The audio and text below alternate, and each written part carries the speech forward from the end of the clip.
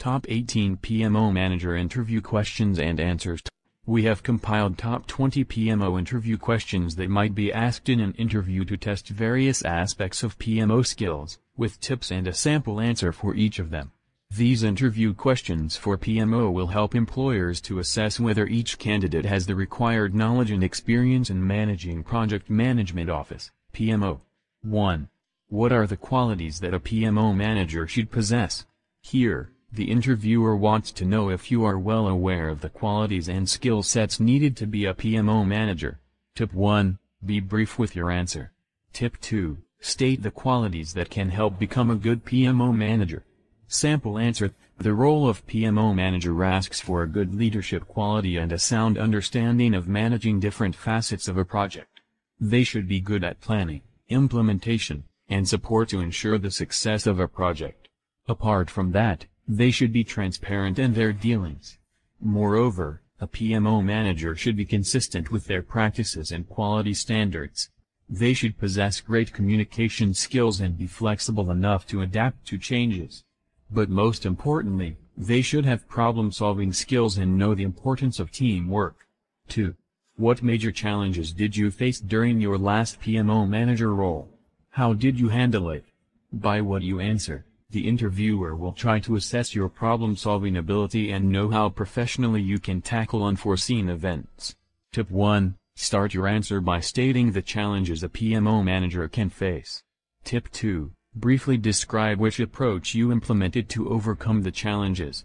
Sample answer During my last role as a PMO manager, I faced a project where risks and issues were not properly identified so it could bring a potential delay on the deployment of the project.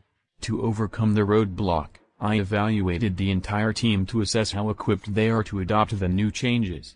I used various tools like Lean Six Sigma to undertake the task. 3. How would you go about setting up a PMO? From what you answer, the interviewer will try to assess if you have the required skill set to create and manage a PMO. Here, they will also evaluate your managerial qualities. Tip 1. List down the steps that you are going to talk about.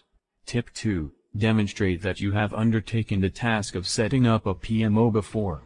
Sample answer The first step to setting up a PMO is defining the objectives of the PMO. Answering the whys will help align the PMO with the organization. After defining the objectives, one has to acquire the mandates from the seniors to set up the PMO. The next step is to define what tools PMO will use and the process it will follow. After this, it is essential to outline what skills the resources should possess. The next step is to set up a communication channel to ensure the task is going as per the plan. To ensure the processes are going as per the timeline, there is a need to set up a monthly PMO routine. The last step is to document the key elements to be covered in a PMO and maintain it. 4. How do you share best practices within a team? It is the responsibility of a PMO manager to supervise the entire team while ensuring everyone follows best practices. The interviewer will try to assess if you are well aware of these standard practices or not. Tip 1. First, state the importance of following the best practices in project management. Tip 2. Your answer should reflect that you have experience in managing a PMO. Sample answer Adhering to standard practices and project management is paramount to achieve success and deliver a quality project. As a PMO manager, I will first form a case to why there is a need to implement best practices in the PMO. After this, I will develop the best practices by collaborating with other managers and then run a test. Afterward, I will roll it on all other projects. Through regular follow-ups, one can know when and what practices need change. 5. What's your experience with PMO and different project management tools? Although it is not necessary that every organization uses the same project management tool or has the same PMO setup, the interviewer would want to know if you are familiar with some of the basic tools. Tip 1. Your answer should demonstrate that you are efficient at handling project management tools. Tip 2. Give an idea to the interviewer how proficient you are with these tools. Sample answer Yes, I have prior experience with PMO and have proficiency over a few project management tools like Scoro, Basecamp, Asana Jira. In my last company, I was tasked with setting up a small PMO. Therein, I worked on Asana. I have created multiple workspaces for my projects. I had created a task list for all of my projects. I set up milestones and regularly check my team's progress. I used to get a notification for any new updates in my projects. I had to check my dashboard for checking a quick overview. I provided training to the stakeholders on the PMO process and prepared process templates and activity feed. 6. How do you determine the organization's resource capacity? One of the key skills a PMO should possess is planning and managing an organization's resources. Here, the interviewer wants to know if you have undertaken such a task in the past. Tip 1. Your answer should demonstrate your understanding of capacity planning. Tip 2. To put weight to your answer, show that you have experience in managing the resources. Sample answer. When reviewing the organization's resource capacity, one can use tools for a more precise understanding of the resources.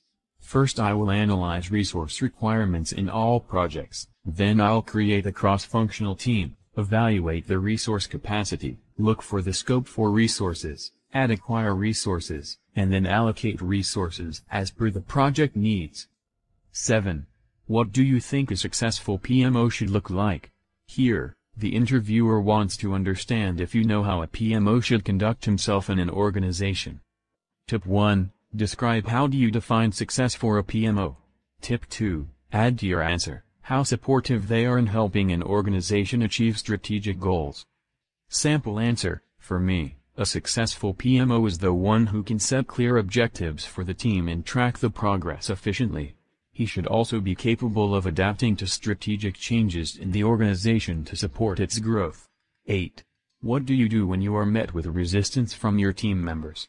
The interviewer wants to assess your critical thinking process and problem-solving skills. Tip 1. Give a clear case scenario. Tip 2. Break down your approach and define them in brief. Sample answer.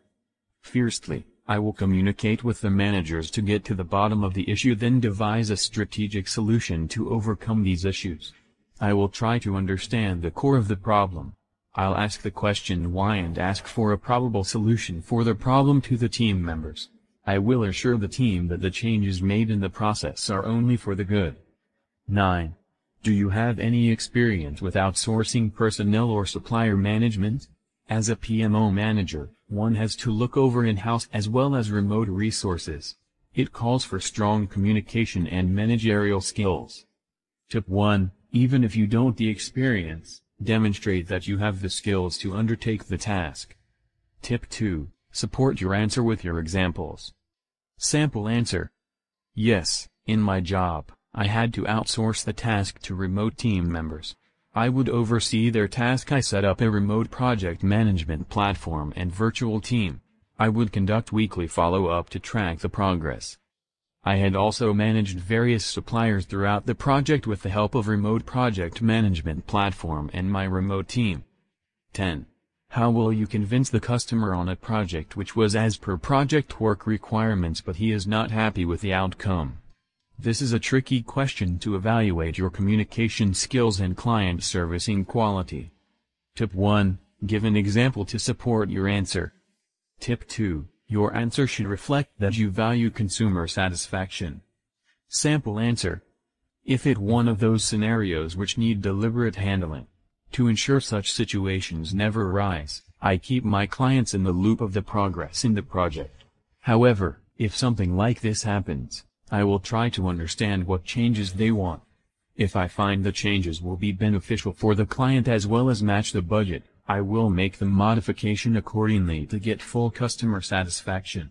If I find it will not, I will negotiate with the client, make understand the case and solve it with a win-win situation. 11. What project management software are you familiar with? The interviewer wants to understand how capable you are at handling PM software and if you are compatible enough to learn new software. Tip 1. State the software you have used and for what purpose. Tip 2. Give them the impression that you are willing to learn new software. Sample answer.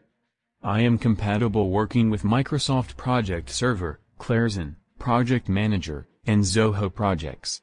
Besides this, I can quickly learn and adapt other PM tools that are used in the organization. 12. Is there any difference between projects, programs, and a portfolio? The interviewer wants to know how well are you familiar with these concepts of project management. Tip 1. Give a brief description to define the differences. Tip 2. Keep your answer short but don't miss out on any important point. Sample answer. According to the PMBOK guide, the project is a temporary task that produces unique results.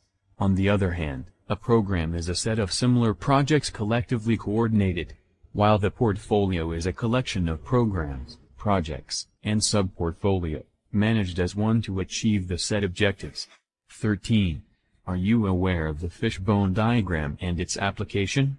Another technical question to assess your project management skills.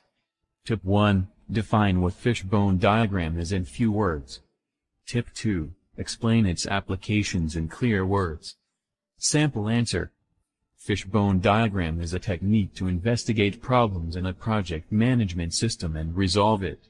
It helps in identifying the issue, pin out the major factors causing the problem, and find efficient solutions. 14. What do you think is the most essential skill for a project manager to have and why? This is another question to evaluate your skill sets and understand how well you understand the job profile. Tip 1. List two or three skills you think are most essential. Tip 2. Justify your answer. Sample answer. As a PMO manager, one has to oversee the task of other project managers, one should possess sound leadership skills. The second most important skill for a project manager is good communication skill. Besides this, a project manager should be posse's sound team management skill, negotiation skill, risk management skill, and responsible for the actions taken. 15. What are the steps in the project life cycle? This question is to test your knowledge about the project development process and how well you can manage it. Tip 1. Briefly define what project life cycle is and describe the steps. Tip 2. Try to put your experience when answering the question. Sample answer. There are five stages in the project life cycle. These are the initial stage in which we understand the requirement of the project, and the planning stage wherein we set the timeline to execute the task. After that, it comes to project monitoring and control stage. Then comes the execution stage, where we go on board with the project. The fifth stage is the closure stage where the outcome is analyzed as per the set target.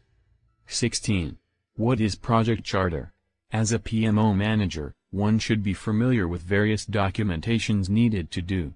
If you are applying for the post of PMO manager, you should know them too. Tip 1. Describe in brief what you understand from the project charter. Tip 2. Your answer should resonate that you have prior experience in creating the project charter. Sample answer. Project Charter is a document that contains a brief description of the project to be developed. When creating a project charter, one should list down the objectives of the project, state the stakeholder, and risks involved in carrying out the project. 17. What is Plan Baseline? This question will again put your sound understanding of the project management tasks to the test. Tip 1. Explain the concept in brief. Tip 2. Give an example to explain your answer. Sample answer. Before the execution of the project, a final version of the plan is created which is called Plan Baseline. Project baselines include the objective of the project, timeline, and other details as per which the final project's results are measured. 18. What are the processes and process groups? This question is to know how well you understand the nuances of processes and process groups. Tip 1. First, define both the terms in brief. Tip 2. Give examples to draw the differences. Sample answer. Process defines the way to undertake a task. It states a clear set of actions to be followed to complete it. On the other hand, the process group is a set of processes applied to various stages of project management. Conclusion these are but a few PMO interview questions for interview that you need to prepare yourself before attending an interview. Hopefully these interview questions for PMO will help you land your next dream job.